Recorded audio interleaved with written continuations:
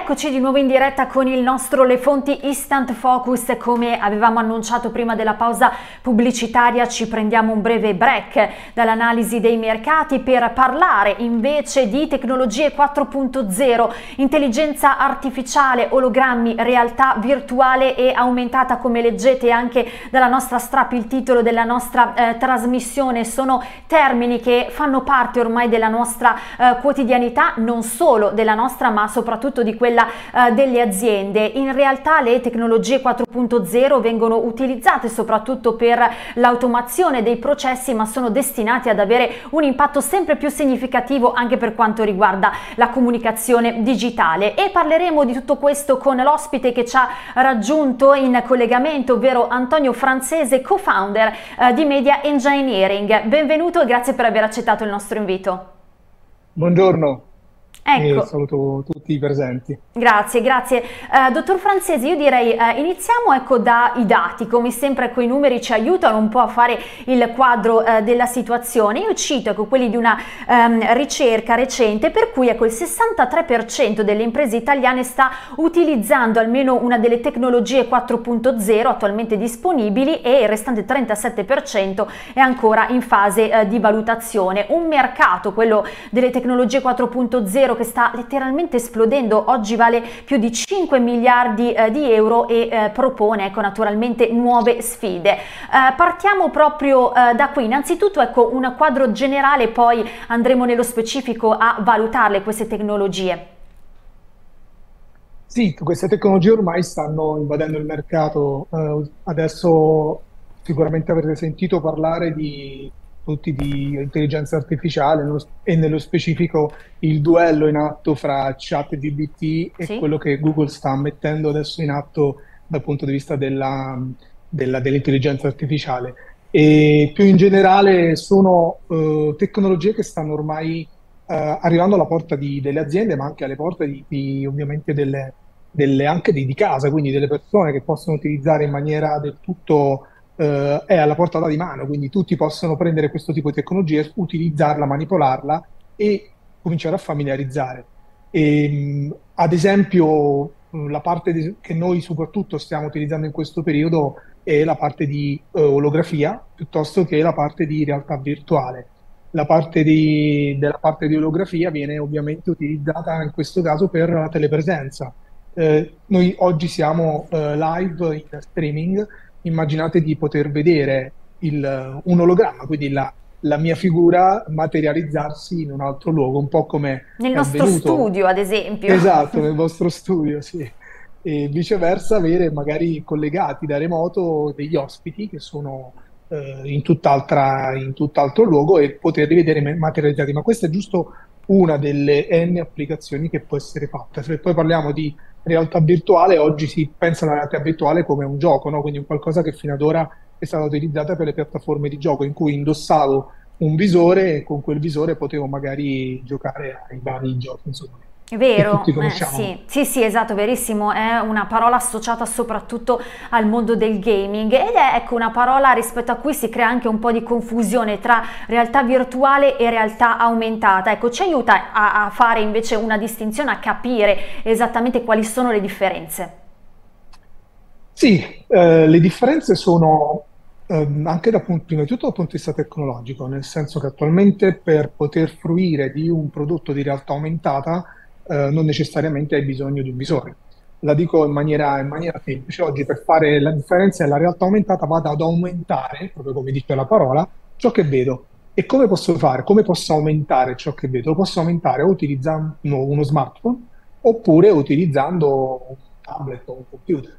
Questo tipo di esperienza viene oggi utilizzata tantissimo, ehm, ad esempio nella, nella, nella, parte di se voglio andare all'interno di un museo e vedere un contenuto ulteriore, quindi vado ad arricchire ciò che vedo. Lo vado ad arricchire con che cosa? Con dei video, con del testo, con un'esperienza, un'interazione che posso fare con l'oggetto che sto vedendo. Ma in questo caso sto aumentando no, lo spettro di visione rispetto a quello che la realtà mi, mi pone davanti.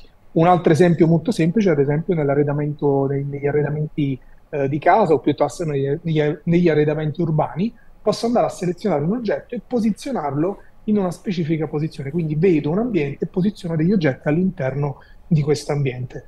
Eh, quindi utilizzo banalmente uno smartphone oppure un tablet, quello che, quello che, ho disponibile, non ho bisogno di un visore, quindi continuo a vedere il mondo che mi circonda e lo arricchisco con degli oggetti. Anche dal punto di vista del turismo ci sono tante applicazioni in questo ambito, quindi sì. questa è realtà aumentata. Sì. La realtà virtuale invece è una realtà immersiva. Che cosa voglio dire?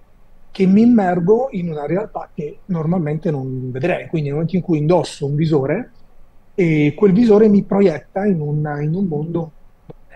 Questo mondo non reale può essere di vario tipo, può esserci ad esempio una ricostruzione tridimensionale di un ambiente, quindi realistica, oppure, come oggi si sente tanto parlare, di metaverso, quindi un qualcosa che non è reale, ma è ricostruito in, in grafica 3D ed è immersivo, quindi io mi posso girare intorno, posso guardare intorno a me tutto quello che, che mi circonda e viverlo, no? quindi essere presente, non solo vedere ma anche ascoltare non solo ascoltare ma anche interagire, quindi posso toccare le cose, posso anche muovermi all'interno, quindi interazione, visione e vado a insomma diversi, diversi sensi. Ecco perché queste, poi, queste tecnologie vengono molto in questo periodo abbinate anche alle neuroscienze.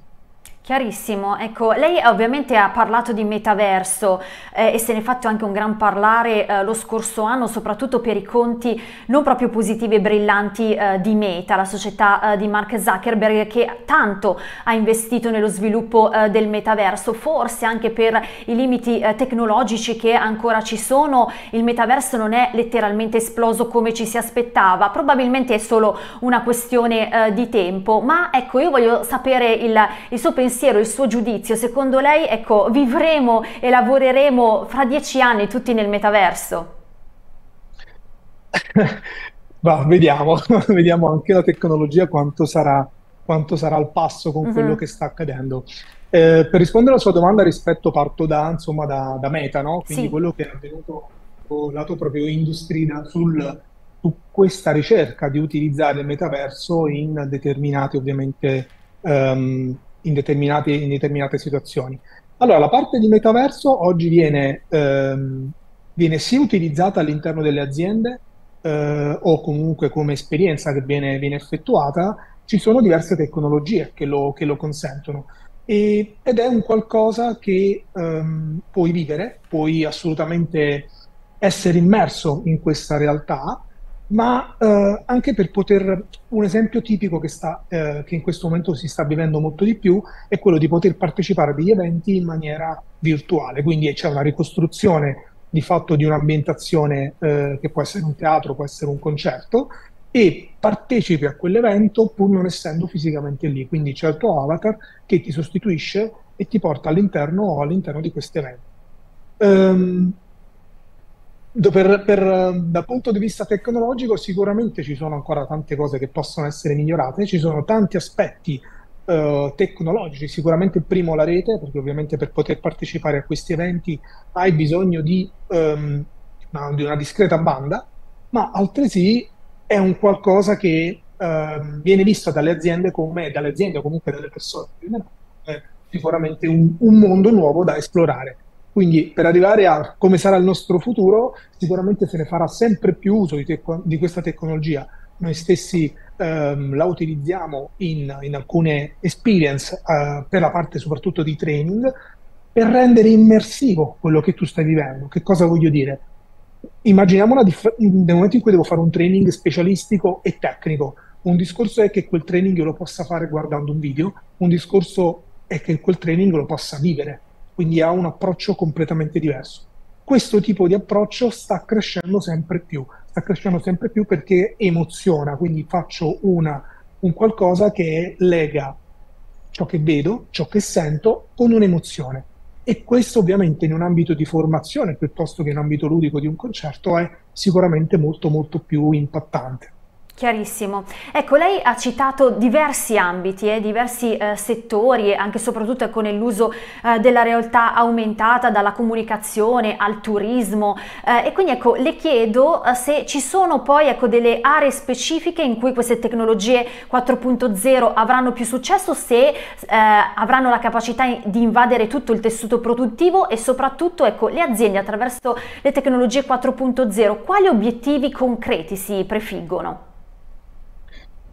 L'obiettivo sicuramente è quello di un maggiore ingaggio del proprio mm. cliente, quindi quello che, cer- che, stanno cercando di fare, ma tante aziende ormai utilizzano questa tecnologia all'interno, è quella anche di integrarla nel processo produttivo.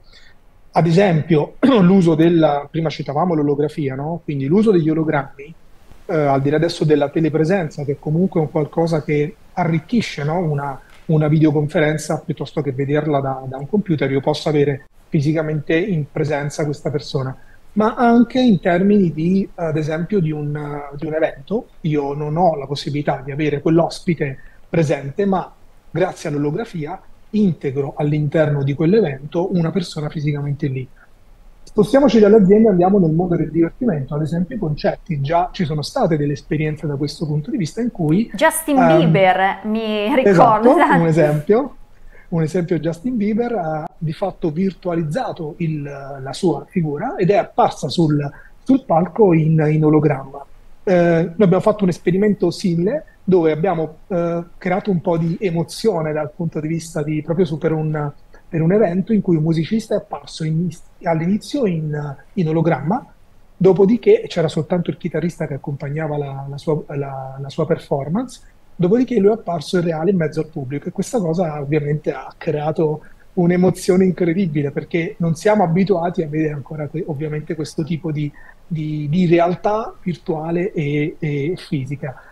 Per poi ovviamente spostarci sul discorso che facevo poc'anzi, quindi tanta tanta integrazione, come dicevo prima, con quello che può essere una, una, un evento, una, un, un, evento aziendale piuttosto che un concerto, ma anche perché no, quello che citavo poc'anzi, l'utilizzo del, del, della realtà virtuale, ad esempio, nel, nel, training o come avviene già in, in, in, in tanti settori sulla parte di manutenzione. Nella parte di manutenzione sono grandi aziende che utilizzano realtà virtuale e realtà aumentata, perché gli operai o comunque chi è l'addetto ai lavori, nel momento in cui inquadra uno specifico, ehm, facciamo l'esempio, ad esempio di, uno, di un'auto, io potrei inquadrare un, il cofano di un'auto e vedere quell'auto esplodere da un punto di vista eh, immagine e guardare al suo interno, quindi andare a guardare ad esempio il motore, le componenti del motore e quindi in tempo reale addestrare o dare tutte quelle ehm, informazioni che sono necessarie a quel, a quel, al meccanico, facciamo l'esempio di un sì. meccanico che deve operare in quel momento e quindi poter fare ovviamente quell'azione.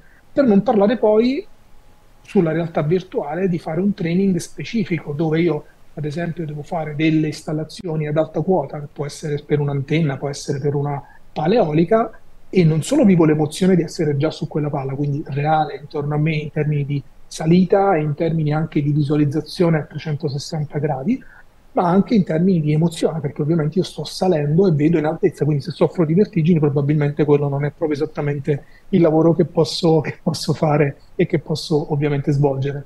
Chiarissimo. Per arrivare, sì. e, sì, per sì, arrivare prego, a qualcosa anche, anche, di più eh, legato alle disabilità, un qualcosa che ad esempio può avvicinare le persone alla parte di disabilità, in che senso? Che io posso vivere la disabilità di una persona e capire, quindi impersonificare di fatto un disabile e capire da quel punto di vista quali sono gli ostacoli che quella persona si trova a vivere nel momento in cui uno spazio non è esattamente quello che, eh, che dove, come doveva essere costruito. Esperienze del genere sono molto molto formative e sono, riducono no? anche, anche l'obiettivo mm, di ridurre quel gap che c'è sì. fra... Mm-mm Esatto, fra noi eh, normodotati e chi purtroppo ha dei deficit motori piuttosto che uditivi e quant'altro. Grazie, sì, certo, una immedesimazione eh, superiore, chiaramente. A tutti gli effetti. A tutti gli effetti, assolutamente. Ecco, eh, abbiamo capito, insomma, dal suo discorso che eh, le tecnologie 4.0 sono non solo il futuro, ma già anche il presente, ecco, della, eh, del, dello sviluppo eh, che, che, ci attende e sono la parola chiave per comprendere questo determinato periodo storico insieme a un'altra, eh, che è sostenibilità. E io le chiedo, ecco, tecnologie 4.0 e sostenibilità sostenibilità sono due termini che possono procedere a braccetto? Possono procedere a braccetto nel momento in cui eh, rendiamo più sostenibili sicuramente gli spostamenti e già quello ad esempio che stiamo facendo in, nelle, nelle, dirette, no? nelle dirette negli, negli, negli, eventi, nelle videoconferenze, riduciamo i tempi di spostamento e quindi eh, grazie alla tecnologia abbiamo capito che si può risparmiare in termini di tempo, sì. perché ovviamente lo spostamento richiede del tempo, in termini di inquinamento, perché se mi sposto sto utilizzando o posso utilizzare un mezzo elettrico, ma anche un mezzo che ovviamente genera CO2, quindi c'è un, un, un, notevole risparmio da questo punto di vista e anche dal punto di vista dell'azienda, perché ovviamente la persona deve spostarsi e quindi in quel momento non, più pre- non è più presente. Questo da un punto di vista ovviamente di, sto parlando di videoconferenza, ma la stessa è per se devo fare un monitoraggio a distanza di un, di un building, quindi devo fare ad esempio delle azioni di verifica all'interno di, una, di, una, di, un, di uno building, verifiche che possono essere di qualità, di, di temperatura e quant'altro, posso utilizzare tecnologie, sensori piuttosto che visori, piuttosto che intelligenza artificiale e monitorare ciò che diversamente avrei dovuto fare fisicamente con qualcuno che doveva recarsi verso quel posto e fare quel tipo di attività. Quindi sicuramente sono assolutamente tecnologie green, tecnologie che aiutano l'ambiente, ma aiutano anche a vivere in modo più, vivere meglio, no? perché chiaramente se tu riduci i, tutti questi tempi hai più tempo da dedicare ad altro, più tempo per ovviamente ottimizzare il proprio benessere anche eh, familiare piuttosto che personale. Ci sono un sacco di aspetti positivi, questo è innegabile, li abbiamo analizzati, eh, però ci sono anche dei rischi, eh, va sottolineato, legati all'intelligenza artificiale, allo sviluppo eh, delle nuove tecnologie, se ne è fatto un gran parlare proprio riguardo al caso GPT Bot eh, e eh, questa chat insomma che sta rivoluzionando un po' ecco, il mondo eh, del digitale e della tecnologia, soprattutto si appresta a rivoluzionare anche le nostre vite, le nostre esistenze. E a proposito dei rischi legati all'intelligenza artificiale, uno dei punti che spesso viene messo in evidenza riguarda la sostituzione progressiva delle facoltà umane e soprattutto ecco, eh, la creatività. Secondo lei eh, è dalla sua posizione privilegiata di, di osservatore di esperto del settore, la creatività umana è effettivamente in pericolo? Guardi, un tema che abbiamo toccato anche con, con mano ehm, con persone ovviamente addette ai lavori. Cioè l'esempio de, de, della cosiddetta intelligenza artificiale generativa, no? che sì. può essere sia da un punto di vista dei testi, la, la spiego magari per chi, per chi, non è addetto ai lavori, cioè ci sono ovviamente attraverso l'intelligenza artificiale c'è la possibilità di costruire dal nulla delle immagini o semplicemente digitando del testo e ovviamente ho un output di un'immagine creata appunto da un'intelligenza, oppure ho un testo che voglio andare ad arricchire con altro contenuto grazie al, a queste, queste intelligenze che sono in questo momento sul mercato, è possibile fare ciò. Um, quello che riteniamo, ritengo, insomma, è che sono i, sicuramente tecnologie abilitanti e devono rimanere tali, sono delle tecnologie che possono sicuramente essere d'aiuto, quindi non potranno mai sostituirsi ovviamente a quella che è la capacità umana e soprattutto, oserei dire, alla creatività umana. Quindi quello rimarrà sicuramente un fattore assolutamente ehm, presente. Chiaro è che molti potranno utilizzarle anche non avendo quel tipo di creatività e quindi un avvicinare no, magari persone a, a, qualcosa che diversamente non avrebbero mai potuto, potuto fare, mai potuto vedere, mai potuto in, um, interagire con questo tipo di tecnologie. Quindi se io volessi eh, domani creare una gioconda con un'immagine di un'altra persona, oggi posso farlo, addirittura posso avere anche una gioconda che parla. Poi qui entriamo in un tema, mm-hmm. no? È etico, non è etico, è corretto, non è corretto dar vita a un qualcosa che ha una sua, ha una sua integrità. Siamo tutti d'accordo, però oggi la tecnologia consente di fare ciò.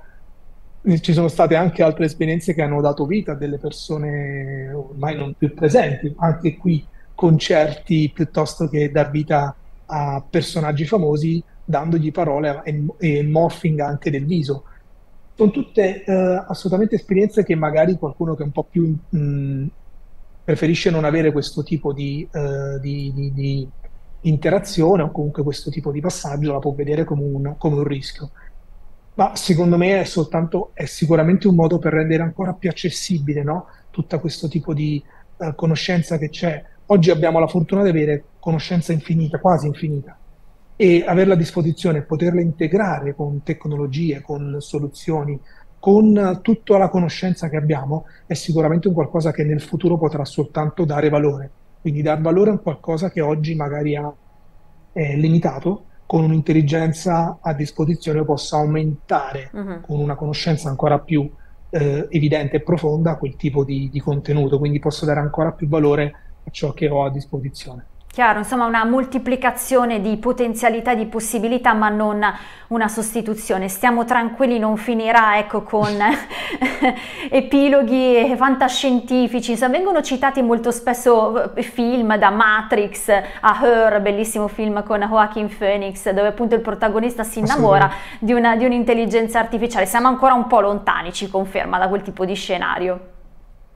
Beh, eh, siamo lontani, sicuramente, eh, rimane come sempre l'integrità umana, no? È ovvio che eh, ci sono persone che vivono costantemente al computer, costantemente collegate, costantemente fuori dalla realtà.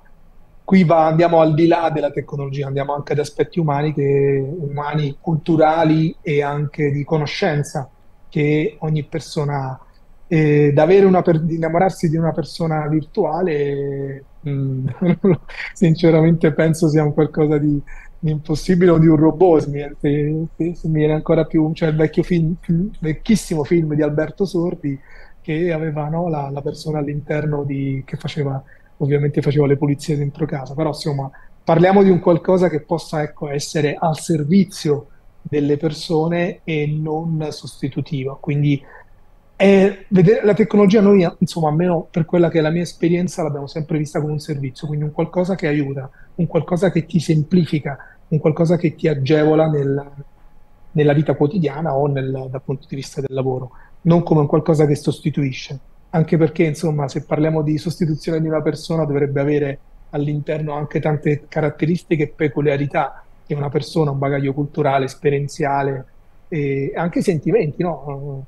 Eh sì, e la questione infatti è, è, questa, se un giorno si potrà replicare anche tutto il bagaglio di emozioni e questo è particolarmente interessante, probabilmente noi non ci saremo più, però chissà, insomma, la tecnologia fa passi veramente da, da gigante. Dottor Francese, io la ringrazio moltissimo per il suo contributo, per questo bel focus che abbiamo dedicato alle tecnologie 4.0, io la invito ancora eh, qui alle fonti per continuare a parlare perché appunto la tecnologia avanza e ci sono nuove scoperte, nuove eh, novità veramente da una settimana all'altra, per cui sicuramente ci sarà modo e tempo per continuare ad approfondire l'argomento. Grazie ancora.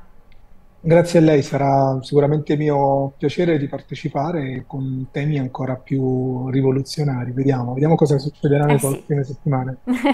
Grazie, allora ringraziamo ancora Antonio Francese, co-founder di Media Engineering. Termina questo nostro speciale Instant Focus. Adesso breve pausa pubblicitaria e poi naturalmente continuiamo con la nostra diretta mattutina.